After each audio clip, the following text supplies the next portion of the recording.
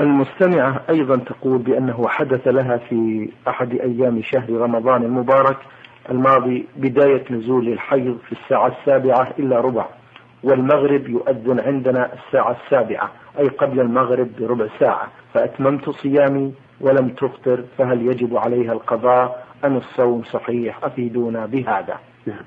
يجب عليها القضاء لأن الحيض إذا حدث للصائمة ولو قبل غروب الشمس يسير فإن صومها يفسد وإذا كان ذلك في رمضان فإنه يلزمها قضاء هذا اليوم. لكن لو خرج دم الحيض بعد الغروب ولو بيسير ولو قبل أن تصلي المرأة المغرب فإن صومها صحيح. وقد اشتهر عند بعض النساء أن المرأة إذا رأت الحيض بعد غروب الشمس وقبل أن تصلي المغرب فإن صومها يكون فاسدا وهذا لا وهذا خطأ. بل متى غربت الشمس والمرأة لم ترى الحيض فإن صومها صحيح ولو حاضت قبل أن تصلي المغرب. نعم. تقول فضيلة الشيخ إذا طهرت من الحيض في اليوم الثالث عشر من أي شهر فهل يجوز لي أن أصوم يوم الرابع عشر والخامس عشر وهي الأيام البيض؟ وأيضا إذا طهرت في يوم الرابع عشر هل يجوز لي صيام يوم الخامس عشر فقط من هذه الأيام؟ أم الواجب في صيام هذه الأيام أن تكون متتالية؟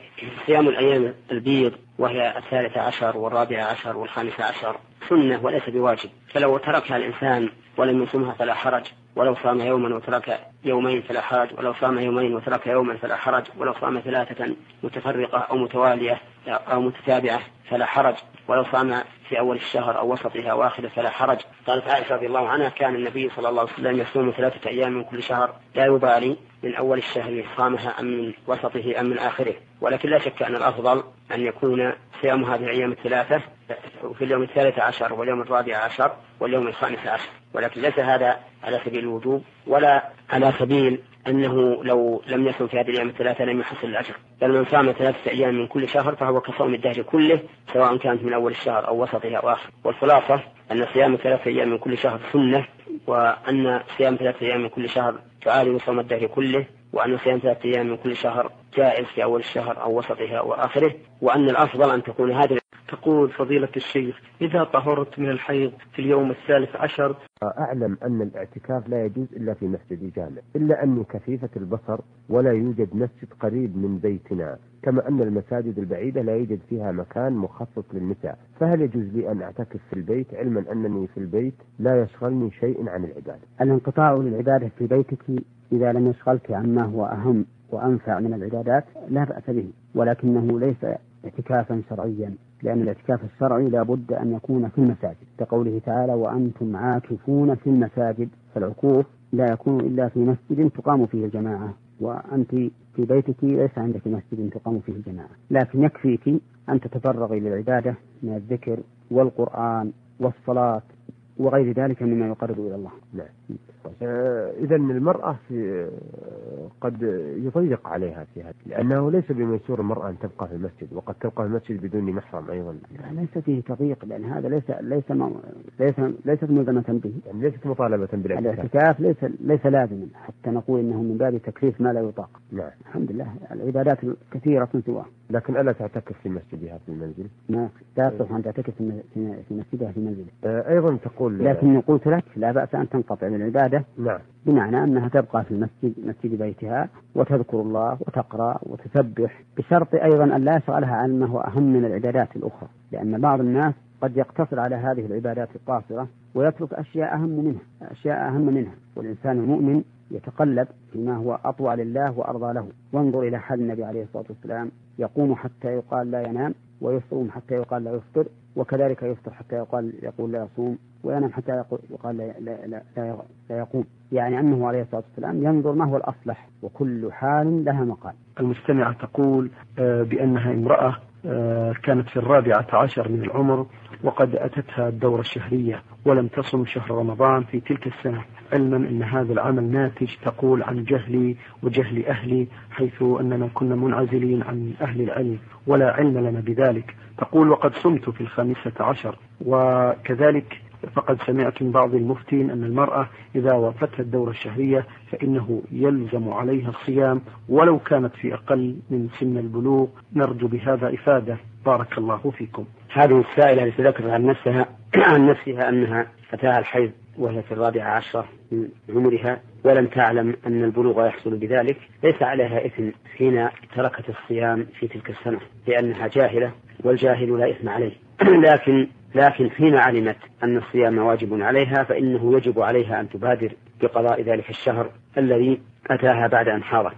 فإن المرأة إذا بلغت وجب عليها الصوم. وبلوغ المرأة يحصل بواحد من أمور أربعة. إما أن يتم لها خمس عشرة سنة وإما أن تنبت عنتها وإما أن تنزل وإما أن تحيض. فإذا حصل واحد من هذه الأربع الأربعة فقد بلغت وكلفت ووجبت عليها العبادات كما تجب على الكبير. فأقول لها إنه يجب عليها الآن إذا لم تكن قد صامت الشهر الذي صادفها وهي حائض. أقول إنه, إنه يجب عليها الآن أن تصومه ولتبادر به. المستمعة تقول آه، بأنها امرأة كانت في الرابعة عشر من العمر. تقول في سؤالها الأول صامت امرأة التاسع من محرم وحاضت يوم عاشوراء فهل يجب عليها القضاء أو يلزمها كفارة؟ أرجو الإفادة. الحمد لله رب العالمين وأصلي وأسلم على نبينا محمد وعلى آله وأصحابه ومن تبعهم بإحسان إلى يوم الدين. من المعلوم أنه لا يجب الصيام على المرء المسلم إلا صيام رمضان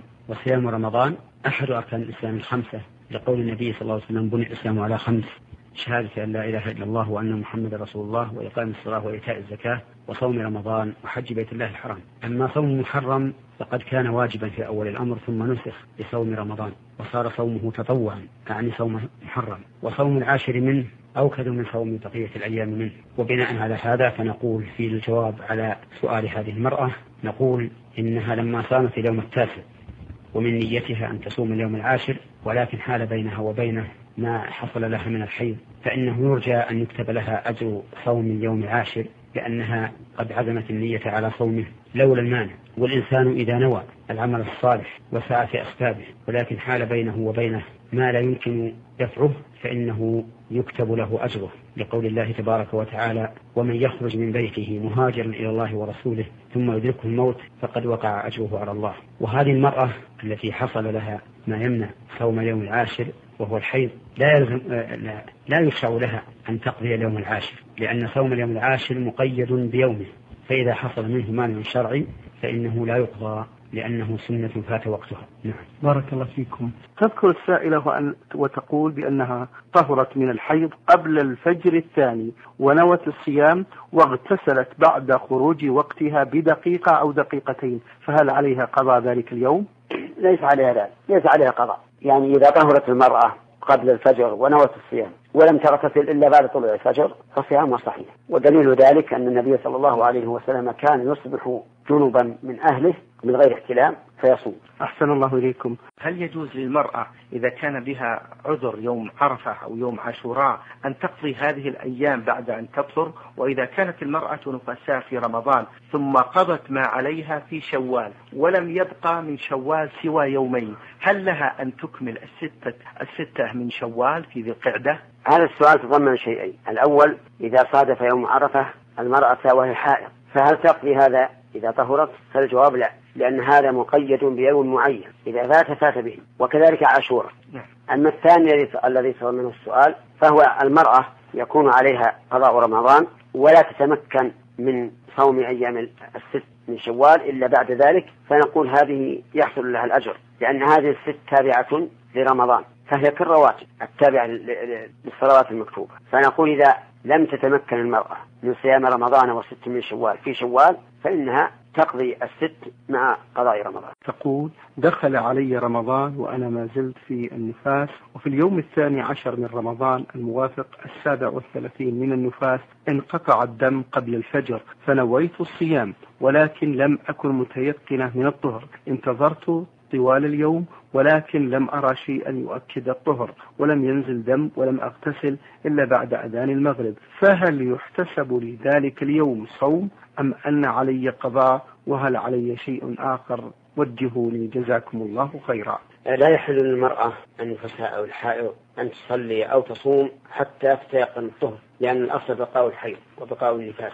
وما دامت صامت ذلك اليوم وهي شاكة هل هي طهرت أم لم تطهر؟ فعليها أن أن تعيد صوم ذلك اليوم لأنه ليس بصحيح. نعم. تقول في السؤال الثاني هل ستر القدمين في الصلاة واجب بحيث أنني لم ألبس الجوارب على إعادة الصلاة؟ في هذا خلاف بين أهل العلم. من العلماء من يقول إن على المرأة في الصلاة أن تستر كفيها وقدميها ومنهم من يقول إنه لا يجب عليها أن تستر ذلك كما أنها لا تستر الوجه. وبناء على هذا نقول إذا صلت وهي كاشف في القدمين فصلاتها صحيحة لكن نأمرها قبل أن تصلي أن تستر قدميها خروجا من الخلاف والله أعلم. هل للحائض أن تتحرى ليلة القدر؟ لو تحرت ليلة القدر لم لم تنتبه لأن النبي صلى الله عليه وعلى آله وسلم قال من قام ليلة القدر إيمانا واحتسابا. والحائض لا تقوم ليلة القدر لأنها ممنوعة من الصلاة. لكن أرجو إذا دعت في تلك الليلة إذا دعت ربها عز وجل وتعلقت بفضله ورحمته أرجو أن لا تخيب. نعم.